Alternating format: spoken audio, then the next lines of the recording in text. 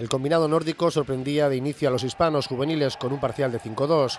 Con el paso de los minutos, España encontraba soluciones a través de su defensa y conseguía un gran parcial, 1-7. Tras empatar la contienda, antes de marchar hacia vestuarios 13-13, Noruega volvía a apretar y se colocaba con tres goles de ventaja. A partir de ahí la tensión se iba acumulando y el intercambio de golpes era constante. Gol arriba o gol abajo para los españoles y los noruegos, el encuentro se iba a decidir en los últimos minutos. Un gol de Ander Izquierdo daba ventaja a los hispanos.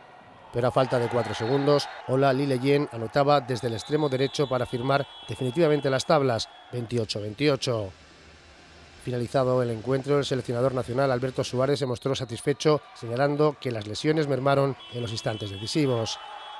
La selección de España, con el algecireño Domingo Luis Mosquera en sus filas, tiene un tercer compromiso en territorio macedonio. El rival de la jornada de hoy será Eslovenia.